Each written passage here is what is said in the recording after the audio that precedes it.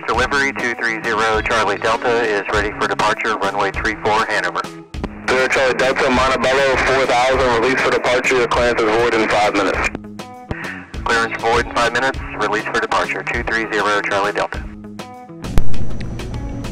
So this flight represented a few things for me. It was, of course, always fun to fly to an event with uh, lots of some people that I know and also some aviation celebrities. But also, this represented my first IFR flight. Just uh, last month, I got my instrument rating, which was quite a, a, uh, a, big event for me and something I'm very proud of.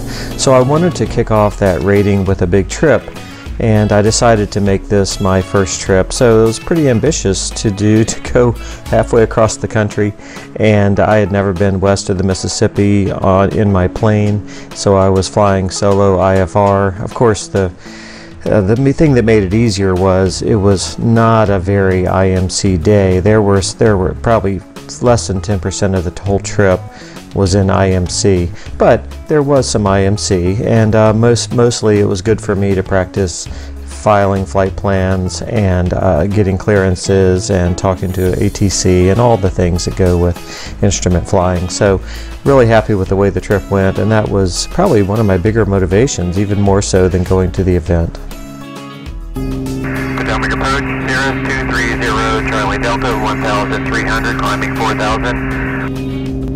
Charlie Delta radar contact northwest of Hanover 1400, climb maintain 8000. Climb maintain 8000, 230 Charlie Delta.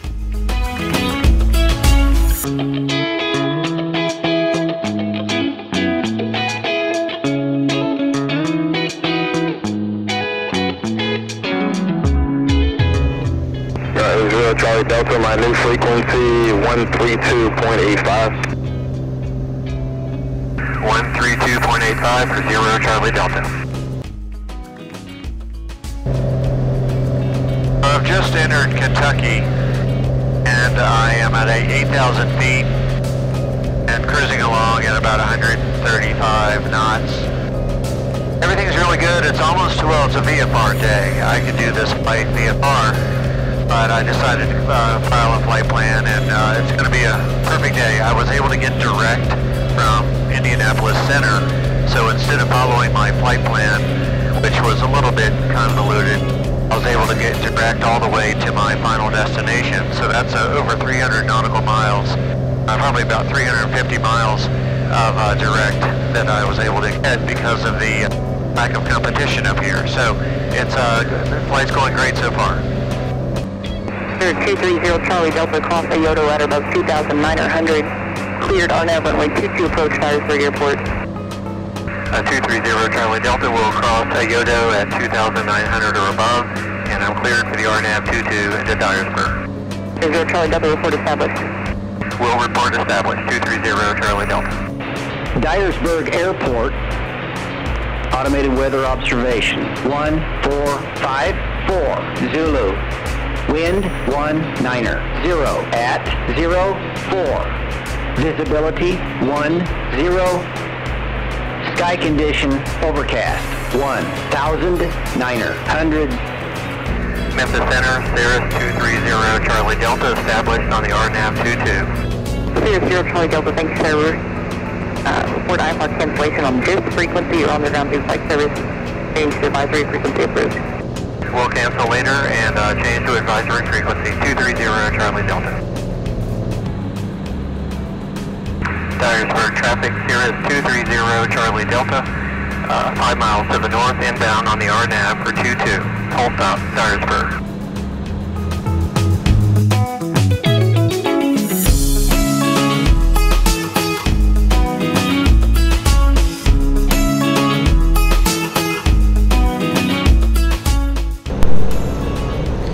Needed to make a fuel stop here at Dyersburg. I also had a work phone call I needed to make, a, web, a webinar. So I was here for several hours uh, on a phone call, and then I got back in the plane and took back off for the remainder of the trip.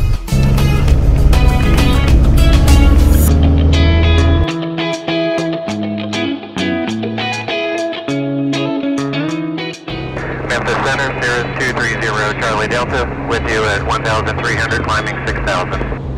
Four two three zero Charlie Delta, maintain.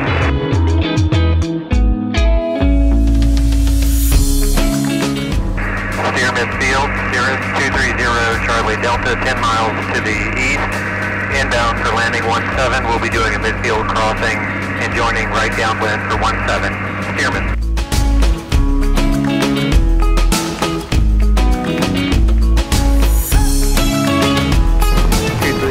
Delta. Are you planning on just staying for the day, or are you camping out?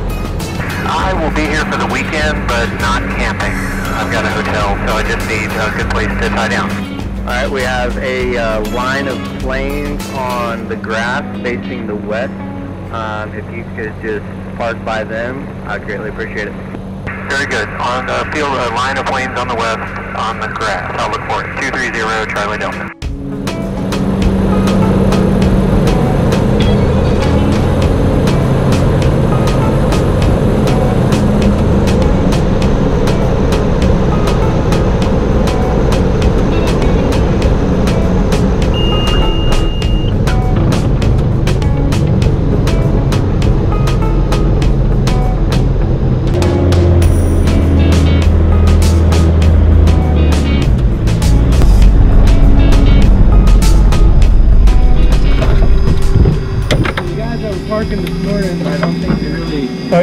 Took into consideration uh, that people could get, you know, stuck behind people. Oh yeah. So Oh yeah. Oh clever. So you'll end up doing them tail to Yeah. tail. Yeah, I like it. no one gets stuck. That's great. Thank you. I like your Jeep. Thank you. So a lot of people showed up for the event. It was both indoors and outdoors. Great uh, restaurant there as part of the facility. And uh, this is the Lockheed Electra. It's a very similar model to what um, Amelia Earhart flew. There are only a few of those left in the world that are flying. And these guys were giving rides to people. I didn't take a ride in it, but they went in and out all day giving rides. Very generous. Also, uh, Corey Robin of the Flying Cowboys and his Carbon Cub was also giving rides. That's the STOL landing, the short takeoff and landing uh, crowd. You see some jets coming in that uh, some of the VIPs showed up in jets to uh, to probably show off a little bit. But um, you, just a lot of you know Stearmen, biplanes, and uh, all the notables from YouTube were there. Blanco Lirio, Bruce Air Flying, Corey Robin. Stearman Field, Cirrus 230 Charlie Delta, departing 17, departing to the east. Stearman.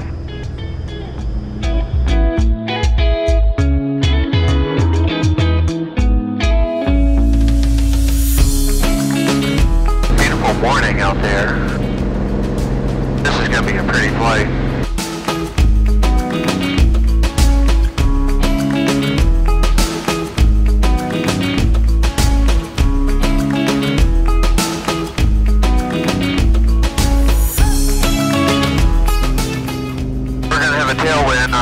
So it will be a fast flight. So I'm ending this story with some really great video of the flight home.